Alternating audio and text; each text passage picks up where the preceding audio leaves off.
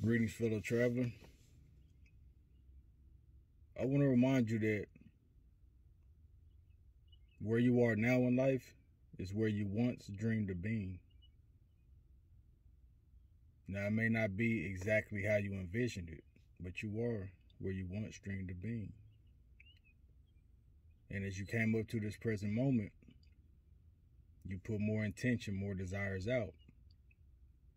And after this present moment, you're going to be in other places that you once dreamed of being. So be mindful of your thoughts, your intentions, your heart. More importantly, appreciate where you are right now. It may not be the best.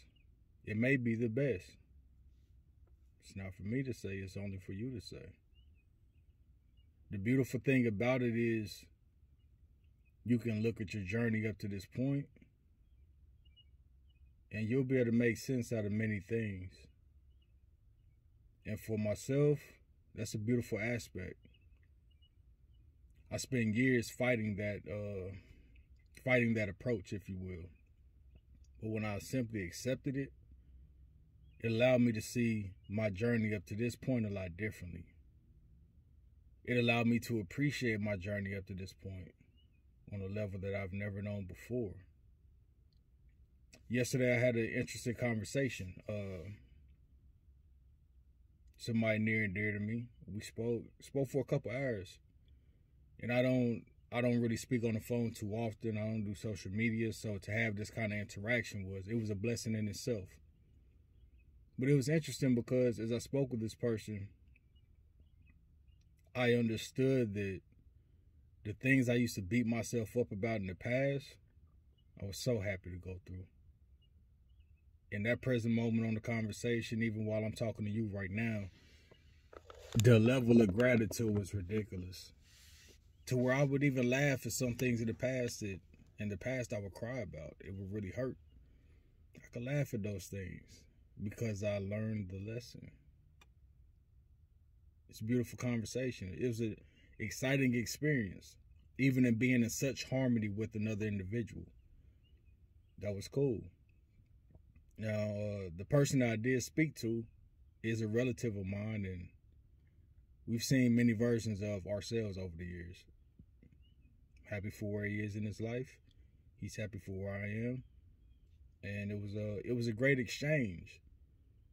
Well, during that exchange, what it taught me about myself is, as long as I continue to keep myself in a certain harmony or balance with who I truly am, those that resonate with me spiritually will be connected with me. That could be those that are near, those that are dear.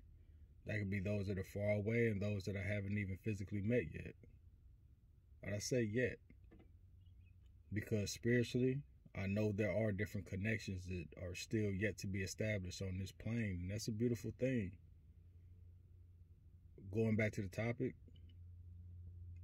embrace where you are and look back at certain things or even look at your current situation and really retrace like attempt to connect the dots. And when you see those things whether it's something that you're proud about something that you're ashamed about something you feel guilty about think about what it taught you. Think about what kind of change it inspired in you. Whether it be for the better or for the worse it doesn't matter. Simply like if you can don't even judge it. Simply look at it observe it. This is what i learned about myself. And in simply doing that, that experience was all the more worth it. So appreciate yourself, appreciate who you are, appreciate who you were, especially who you will be. Because no matter what, wherever you end up, you once dreamed of being there. Until next time, be blessed. And please don't forget to smile.